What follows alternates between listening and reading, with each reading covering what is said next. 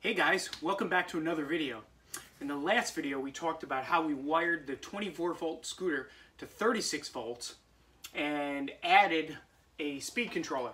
Consequently, we overvolted the scooter and then we overused the scooter. We took it up a big hill and we blew up the motor. Uh, if you remember, this is our old 24 volt motor. We ordered a 36 volt motor, or I'm sorry, a 24 volt 350 watt motor that came today. So I'm pretty excited to get this thing in the scooter today, try it out. Stick with me, let's see how it goes. Okay, let's open this box and see what we got. Oh. Came in from Amazon today. I was pretty excited about it. Pretty quick shipping. Packed pretty well. Here we go. A Yaesu DC motor. Output 24 or 350 watts, voltage 24 volts, model JK0232, speed 2700 RPM. Let's compare that with what we got here. I don't know the stats are on this motor, they're not. Okay, but we can compare. The case is smaller. Um, it's not as wide. Let's see how it is in terms of diameter.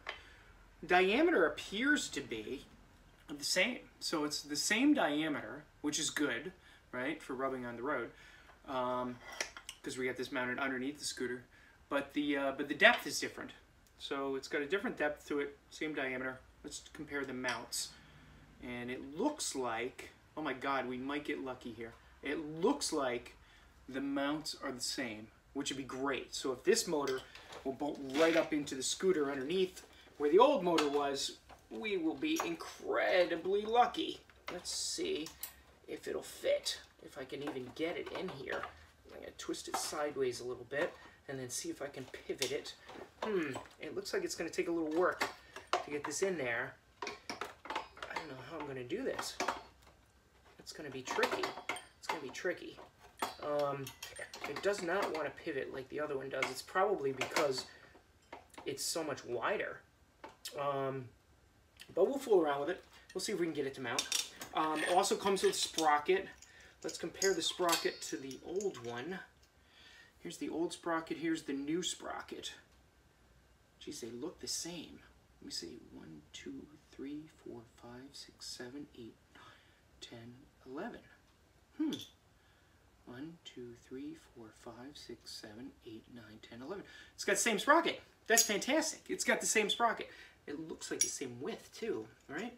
We may get very lucky on this build. Yes, it looks like about the same width. So it's got 11 tooth sprocket, same diameter, a little bit wider, uh, maybe a little bit of problem bolting it in. Um, let's see what we can do. Okay, we've run into a little bit of a fitment problem with the new motor versus the old motor because the old one is thinner. Um, the old casing is pretty easy to get in there. Um, this is an MY10 something slash B. Um, so anyway, slides up in there pretty easily. Rotate the motor, lines up with with the uh, bolt holes. Right, piece of cake. Puts it in there, aligns it with the chain. The new motor, however, I found because it's wider, is not doing the same thing. So if I try to put it up in here, right, and then I try to rotate it, it looks like these ears, maybe it's hitting on, maybe it's hitting on that as well because it's wider. Is it hitting on the battery case? Maybe it's hitting on the battery case as well. Let's take out the battery case and see what we can do with this. This, I think, just lifts out. Yep, it just lifts out. So we'll take the battery case out. Of course, maybe the switches are going to be in the way of getting this thing out, too. Right? So, batteries are disconnected. Take the batteries out. Oh, there we go. Oh, brake cable goes through there. I didn't realize that. That might be a little bit of a an issue getting it out. Let's see if I can kind of mm, get this thing to pop. There we go. Perfect. Okay. So we got this out. Well, not completely out because the brake cable runs through it. I'll slack up the brake cable a little bit. See if I can get that to lift a little bit there. That may give us a little bit of extra room. Oh, let's try this. Okay, so put the sprocket in this way. right? Um, and then we'll try to get it up in there and rotate it. Oh, actually now look at, now look at it's rotating. Okay, so we may be able to, oh my God, we may be able to get this thing to work. Holy cow, look at that, it lines up. It lines up. Oh, I'm very excited about that. Oh, I'm very excited about that. Okay, let's just tap this back down in there. There we go. It looks like the holes line up too. Could we really get that lucky? This will be tremendously lucky if this works out. This would be fantastic. It'd be so easy to do. It'd be so easy to do. Let me find where I put those screws, those mounting screws, around here somewhere.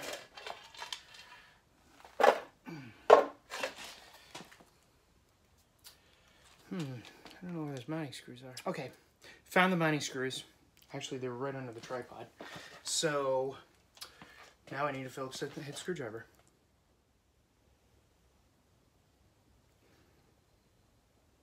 Okay, now I got my Phillips head screwdriver. I got the mounting screws, I got the Phillips head screwdriver. Let's see how we do. We got the motor in here. It looks like it's bolted up. Let's see if these screws will thread in there. That one looks like it's threading in there without a problem. Let's see this one here. There we go. This is going to be way too easy. Of course, I say that.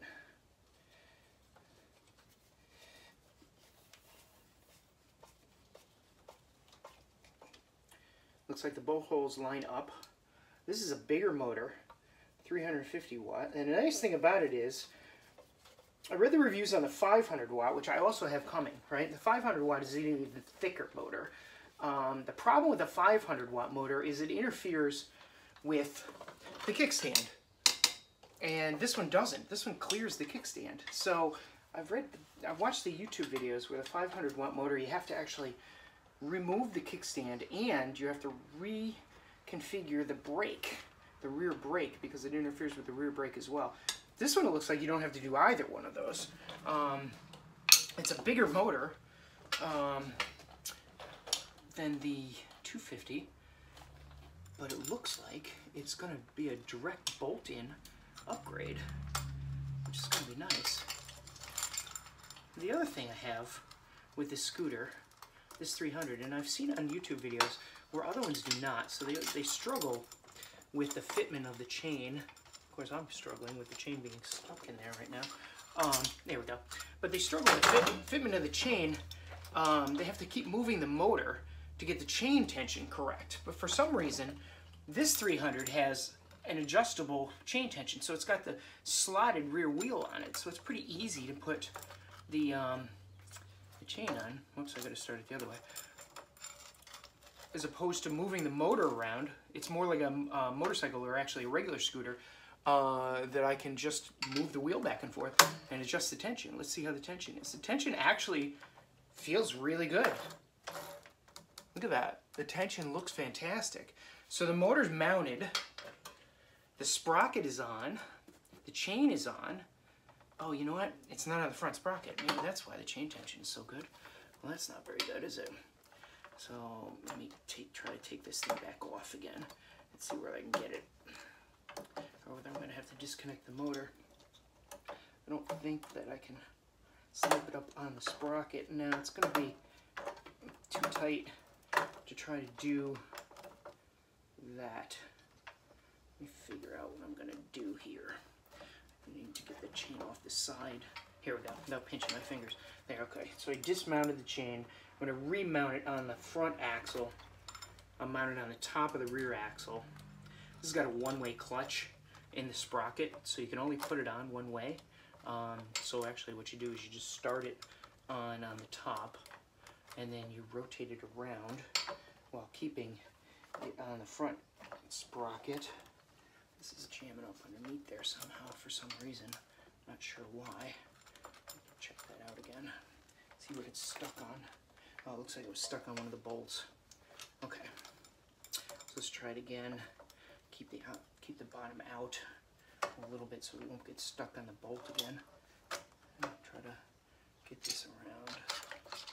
It's gonna work. And then I fell off the front. Well, this is easier in theory than it is in practice, apparently. Let's see. Basically, what I'm trying to do is just avoid taking the rear wheel off or loosening up the rear wheel, which wouldn't be the end of the world, right? Pretty easy to loosen up the rear wheel and then do it. Oh, there we go. So is that still stuck on that sprocket? And that bolt, it is. It's still stuck on that bolt, the bottom of that bolt. So it's stickiness. That's kind of a pain in the neck. Let's see, it's getting stuck behind the bolts, the sprocket bolts on the bottom side. Gotta get it beyond those sprocket bolts so it will come around. There we go. Maybe that's maybe that's good. Let's try it. It's on the front. It's on the rear. It looks like it's gonna go. This is kind of the tricky part where you kind of have to spin it. There we go, and then it sits. Whoa, that's way too tight. Okay, that's entirely too tight right now. It's on there, but yeah, I can't run it like that. It's got absolutely no slack in it whatsoever. So, um, let me get a wrench and I'll uh, loosen this up. Okay, we're back. The right tools make all the difference. So what do we got here? We got a uh, 17 millimeter on an impact. There we go. We'll loosen these up a little bit. Okay, perfect. Get a little slack in that.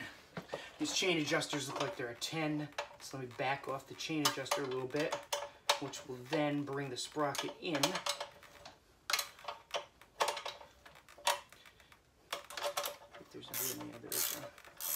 There we go. That looks a lot better.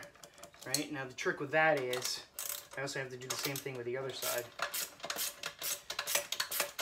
Now the problem is, I don't know exactly how many turns took it out.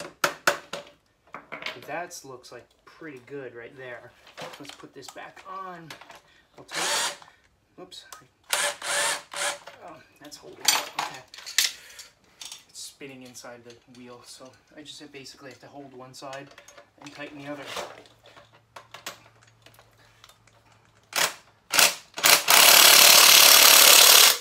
Okay, check the chain tension. It's a little bit tight. It's a little bit tight. It's a little bit tight. You know what though? I don't think it's bad. I don't think it's putting a lot of stress on that motor. Okay, so what do we need to do next? We need to take the motor here. We have it in positive and negative slots right now. I need to put an XT60 connector on there. Um, and then thread it into the, uh, the battery tray, hook it up to the speed controller, and see if she goes, right? I wonder if I can hook it up to the speed controller. Anyway, no, I have an XT60 connector on it to the battery, or to the uh, speed controller, so I can't do that. So, okay, so it's time to get out the soldering stuff. We'll clip these wires off, solder some XT60 connectors on it, plug it in, see how it goes. Let's try it out.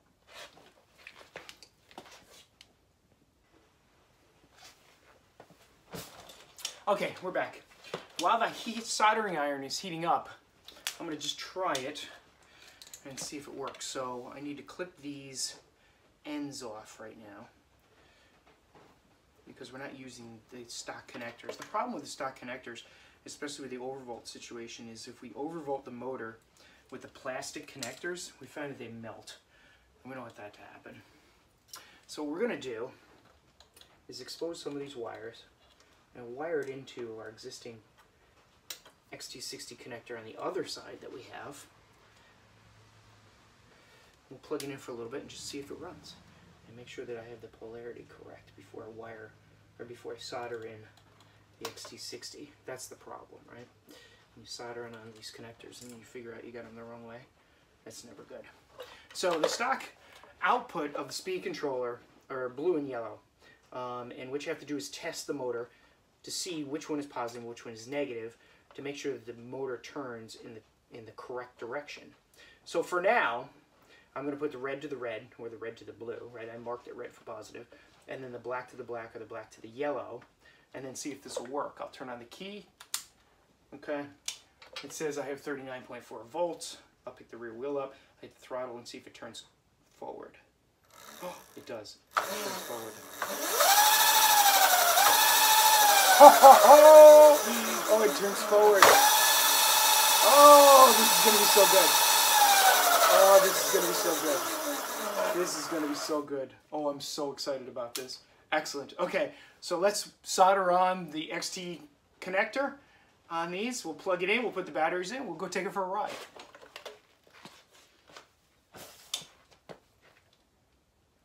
Okay, I think we're good to go. Our soldering iron is heating up. We'll test the solder on it and make sure it melts. Yes, it does. Excellent. We have smoke, we have fire. We're good to go. The first thing we'll do is we'll tin the wires um, coming off of here. So make, uh, this is kind of tricky without a stand. So what I'm going to do is try to hold the wire and the soldering iron in one hand without burning myself. Let's see if we can do this. I did this yesterday and we'll try to heat up that wire, right? Now what I found in soldering is if you can melt a little bit of solder on the, the iron itself and then get it to transfer over to the wire, um, it'll go a lot faster and you can heat it up. There you go, perfect. And then we got that one tinned, which means basically I just put a little solder on the end of the wire to help it, okay? We'll do the same thing with the red. Put it over here. You can tell how hot this is, right? This is what I do not want to be touching with my hand, um, including that round piece on the end of it. Um, this gets a little tricky. I'm trying to do this bent over in one hand. Thankfully, I don't have to hold the camera because I bought a tripod, and we'll do the same thing here.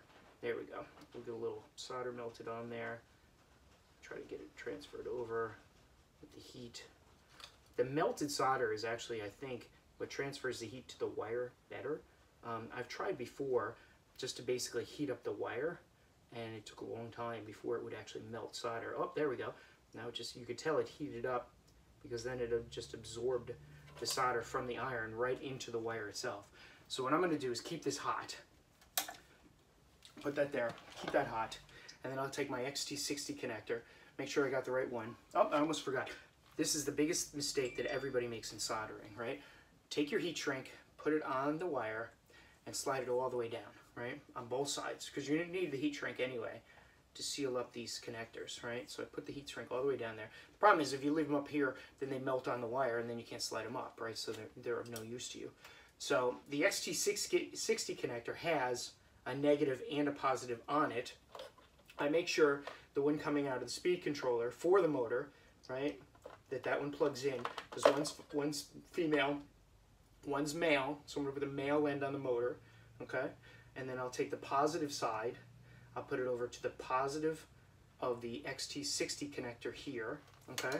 Now this is going to be a trick, right? Because I'm going to try to do this all with like two hands, right? And I should have something that will actually hold it. I'm going to try to heat this up a little bit. Maybe I could, actually I can do it like this. Maybe I can do it like this. Let's see if this will work. The problem is these take such a tremendous amount of heat to get in there because they, they essentially they sink the heat into the connector. There we go. And then we melt a little bit of solder on there. We try to get it into the connector itself. All right, so I'm melting it on the tip and I try to get it so it will go into the connector. This isn't really working very well like this. Let's see if I can reorient. There we go. That might be a little bit easier. We'll see. And remember I got, I have the, um, the shrink wrap on it. There we go. And I'll keep putting solder in there. Okay, now I got a pretty good amount of solder in there. So let me heat the whole thing up. It's got a little crap on the tip. Heat the whole thing up. Get this solder, solder to turn liquid. Solder, I think is what they call it. Get this solder to turn liquid with the heating iron. The so soldering iron. Ow, that's hot, right? That'll tell you. Be careful. That's hot.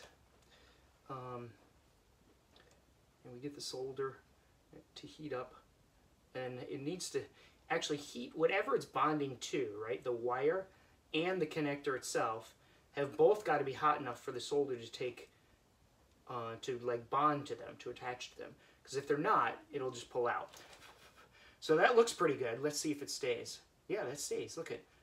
So that got very lucky. I'm normally not that good with solder, but uh, or solder or whatever you want to call it.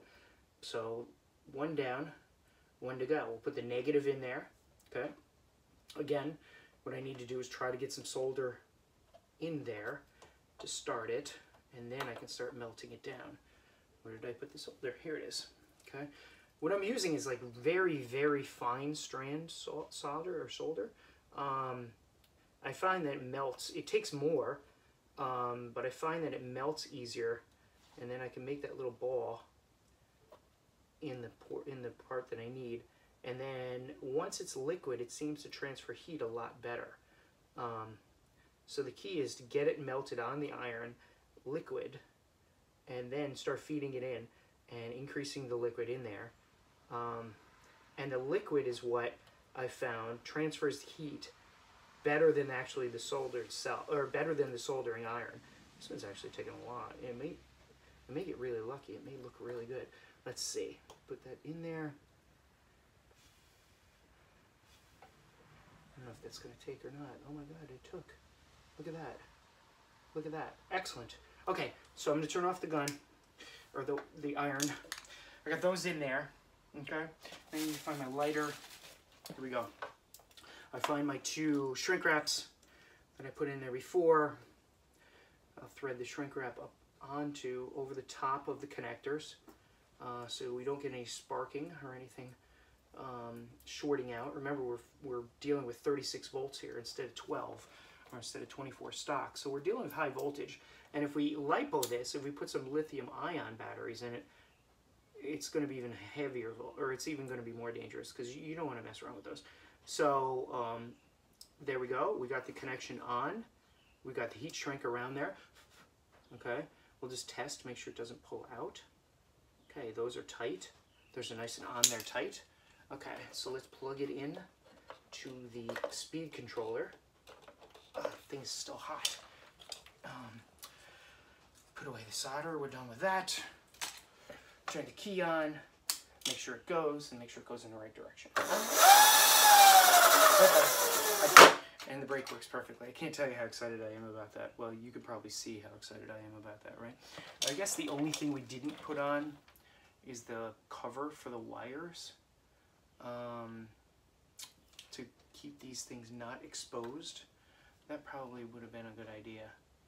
Um, what I can do is I could wrap them in black tape and electrical tape.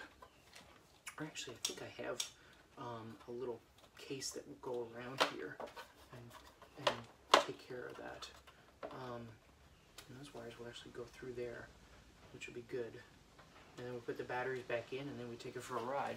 Unfortunately, I think it's raining, so we may be riding in the rain. But uh, let me get a cover for these wires.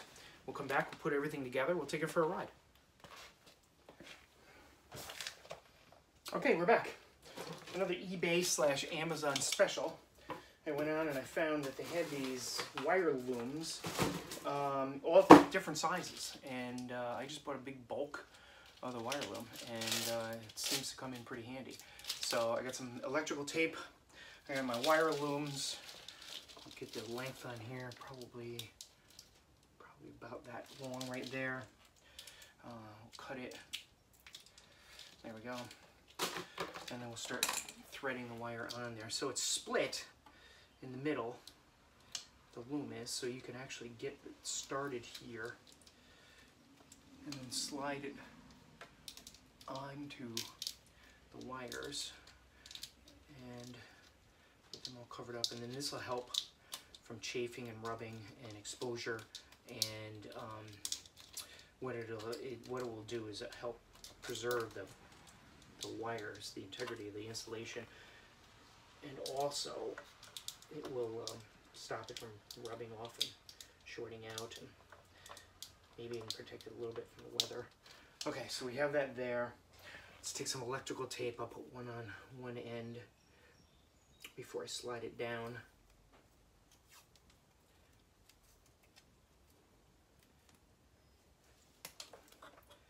Just to keep this closed, to keep the wires on it. Perfect. Slide that all the way to the motor. And the length actually ended up pretty good, didn't it? So we'll put the remainder of this up until the connector, into the wire looms.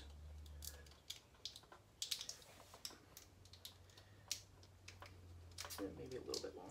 Nope, I can roll it back. There we go. Excellent. Take another piece of tape, put it up on the top, hold this together, and now we're looking pretty good, right? I may actually tape that right to the connector, and then it won't have any exposure there be a little bit better. And then what I can do is I can essentially just take this tape and just loop it all the way down um, and just kind of hold this insulation together, this connector, um, and then we don't have to worry about the wires falling out or anything like that. And uh, I mean, I suppose I could fully wrap it, um, but I think that's going to be good enough for now. And then that'll go under there. This will go in here. We'll put the batteries back in it again. These batteries are heavy. That's why you use lithium ion, I guess. Is one of the big advantages of, of the lithium ion batteries is they're so light. Um, but I feel pretty good about these batteries. They're lead acid, but they're 10 amps. So that's pretty high amperage. Um, and then, can, uh, if I can get this in there, tuck all the wires away. And then I'm going to have to fashion something to put the deck back on. Uh, the problem is, the uh, with these wires, the, the stock batteries are normally oriented um, so they lay down, um, and it fits two of them in there perfectly. But when you put three of them in, um, now they have to sit up on top, and um, and obviously then the deck is going to be too high. So what I've read is uh, from the people who make this fast scooters. You're supposed to flip them around. I think I'm going to wrap them with black tape, flip them around, and then you can put the deck over the top, and you got to put some spacers and some higher screws in there. But for now, I think we take it for a test drive. Okay, let's go.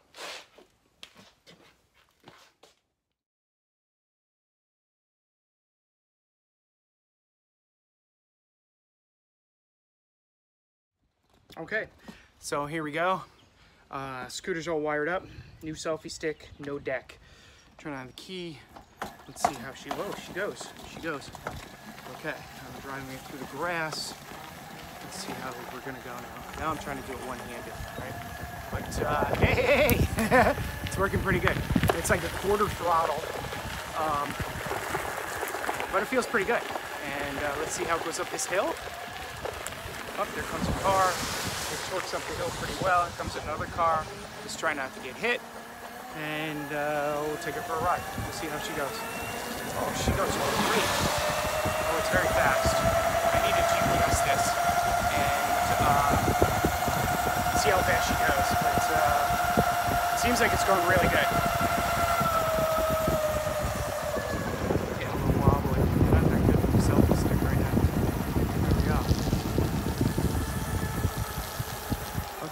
Turn around and we'll go back. And then we gotta figure out how we're gonna put the deck back on this.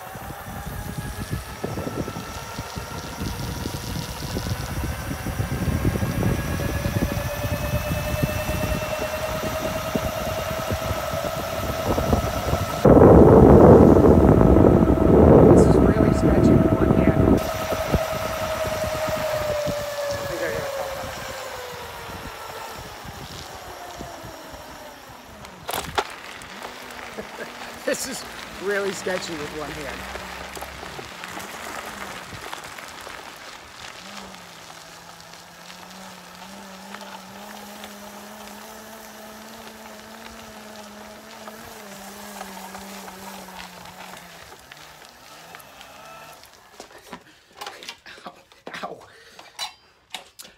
and we're back. Okay, so the scooter goes well. Uh, top speed stayed at around 17 miles an hour. It was kind of vacillating between 16 and 17, which may be incrementally slower than the uh, 24 volt 250 watt motor. Um, I think it's 50 RPM slower. I think this motor is 2700 and I think the 24 volt is 2750. So that would explain that. Um, I took it up the hill. The motor is hot. I wouldn't say warm. I was going to say warm, but it's hot. Um, I took it up the big hill. It carried me all the way up the hill. I stopped a couple of times to check the motor and then started out again. But it carries me up a very large hill, um, which I'm excited about. Um, that was really the goal of the scooter. And I'm thinking maybe with the 500 watt motor, it'll uh, it'll carry me up without even being warm. But um, so the top speed stays at 17 with the 65 tooth rear sprocket. Um, we're torquing it down a little bit to get a little bit better hill climbing ability, but that's the goal anyway. And uh, basically all I have to do now is uh, flip over the batteries, uh, button it up, and then figure out how I'm going to put that deck board back on the top so we can ride it. So um, I think it's good to go. I like it. The uh, 350 watt motor fits in there really well and uh, didn't run into too many sags, so pretty much a piece of cake. So thanks for tuning in.